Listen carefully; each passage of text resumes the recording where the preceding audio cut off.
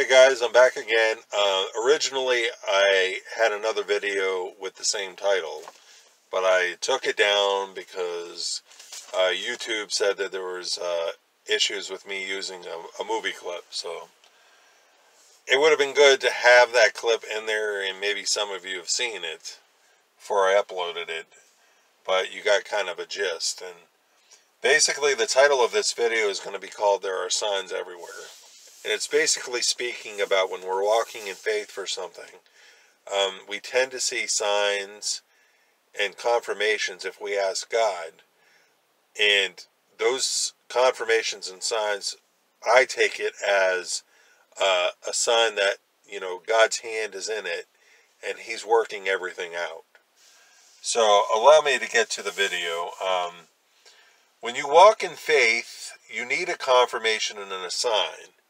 And a good example of that is Judges 6:36 to 40, when uh, God uh, called Gideon to uh, relieve Israel from her enemies, and he wanted to be sure that he wasn't seeing things most likely, and so uh, he asked God.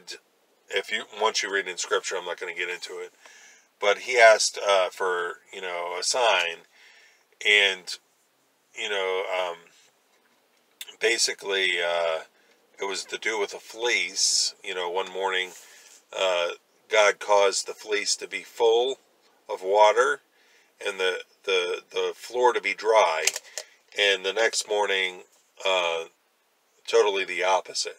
And so Gideon took that as uh, God going to use him to relieve Israel which God did. So, you can look for signs all around you, you know, as confirmation. I mean, you could be driving one day, you could see a sign that totally pertains to your situation.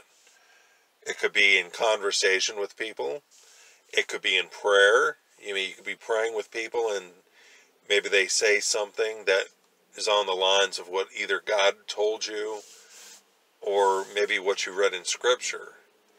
And you know that you know that whatever you're reading or praying about is exactly what God is going to do. So, um, I recall um, when I was walking in faith for an apartment, nothing happened yet. You know, I was still walking in faith. God promised that He was going to provide everything for the new apartment. And so a brother told me that he had a dream about me coming out of my new place into my car. So I took that as okay. It's confirmation that what God is planning to do. And eventually, as you already know, or maybe you don't know, you know, God paid for everything. It was like over a thousand dollars. And well, not really. It wasn't. It didn't work out that way but the apartment was over a thousand dollars. But he worked it out to where the landlady said that she would take whatever we had, we could have the keys and move in. And God worked it entirely out. And if you want to read further about it, it's in my book, Who is Your Provider? And it's listed uh, under close to the end, and it's called Journal in Faith regarding an apartment I was walking in faith for. So you can read all my journal entries leading up to God's provision and how He worked everything out. One second. Okay, I'm back. Um, let's see.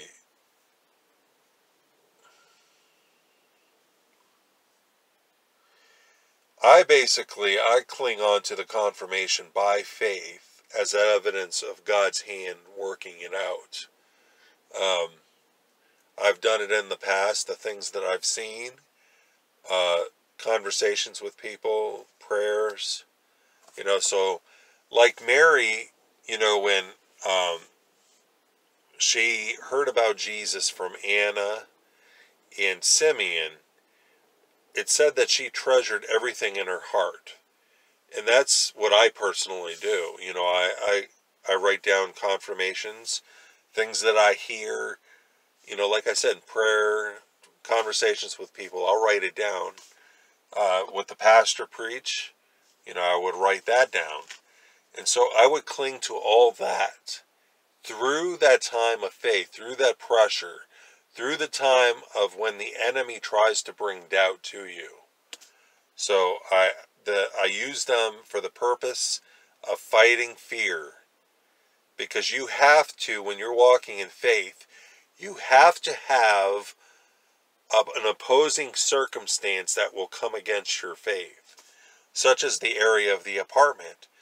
The fear I was facing was, uh, you know, what if I'm on the street? Or what if I look foolish to people, you know, walking in faith? All these things was coming against me on one side. But then I was reading about what Jesus did, uh, what God did in, in the Bible, and all the areas that he provided. And that came against that. And all the other areas of faith where God has come through, it was coming against that fear and it was taking it over.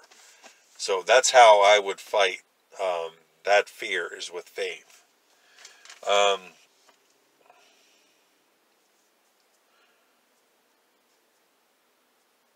it could be signs literally or evidence in nature to guide you into confirming what God's will is. Um, like I, I would, I'd ask God for like His provision for something, and excuse me. So I was I was out walking one morning, and as I was walking, I happened to look down and I saw a twenty dollar bill on the ground. So I was like, "Man, thank you, God," because you know I, I needed it. So you know, God worked that out. Um, my mother knits and she crochets, so she had worked with yarn. So um, when we moved into the new place, um, there was a piece of yarn that fell. And the way that it fell, it was in the form of a fish. So, you know, I take that as God's provision. You know, it was confirmation for that. Um, let's see what else I have. Um, like when I went out to a Chinese food restaurant around that time. There was something I was walking in faith for. And the, the fortune cookie message I received was sort of like God's way of confirming of what he was going to do.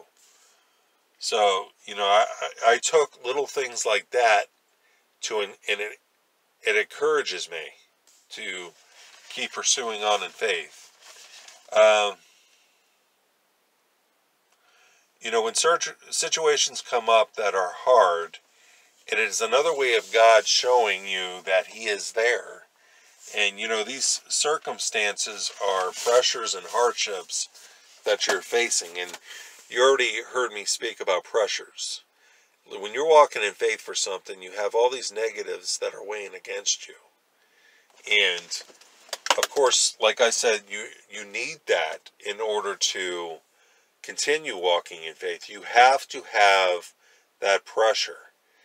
And once you come to know God as your source and Him coming through for you, you will no longer have pressure because you know without a doubt that He's going to take care of the circumstance. So, when you're walking in faith, if you have never walked in faith, you know, um, ask God how you can.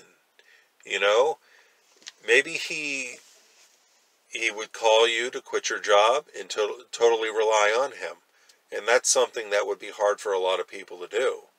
But, you know, like I said, we eventually have to get into that place where we're trusting God. Because, you know, it's going to get to the point to where we're going to lose our jobs anyways once the Antichrist comes because we can't buy or sell anything. So it's best to get in that place now of trusting God. So when that time comes, you'll know without a doubt that He's going to come through for you. Um, it says in the Old Testament, I think it's in the prophets, where he would cause um, water in the desert or something like that. So I believe by faith he's going to do that again. So if you've never walked in faith, ask God how you can walk in faith. You know, maybe He wants you pay all your bills, give to the needy until you have nothing left, and then rely on Him. Ask Him for something that you need and watch Him come through. You know, that's what we need. We need to be in that place of, you know, trusting Him. So, you know, like I said, just ask God how you can walk in faith. So I'll end the video here. Thank you for watching. And, you know, look for the signs. If you're walking in faith, looking for confirmations. Thanks for watching.